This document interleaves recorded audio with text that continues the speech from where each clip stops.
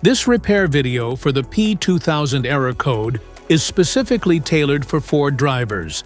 If your Ford showing up P2000 code, this is for you.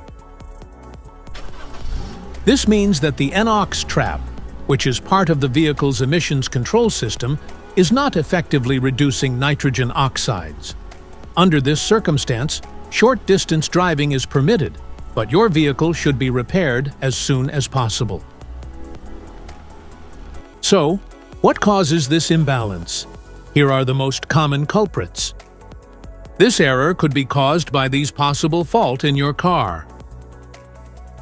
Nitrogen oxide adsorber or catalytic converter. NOx sensor issues.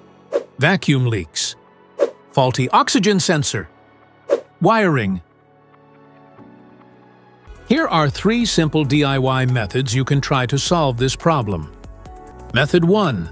Use a catalytic converter cleaner. Use a cleaner of your choice. Simply pour the cleaner into the gas tank.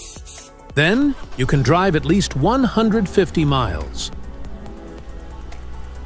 Method 2. Wash the catalytic converter. Now the first thing you need to do is to remove the catalytic converter from your vehicle then take a bucket and put some water and detergent in it. Put the catalytic converter into the solution and soak it for 10 to 12 hours to remove all the crud inside it. Now you see it looks clear and neat. Modify the oxygen sensor.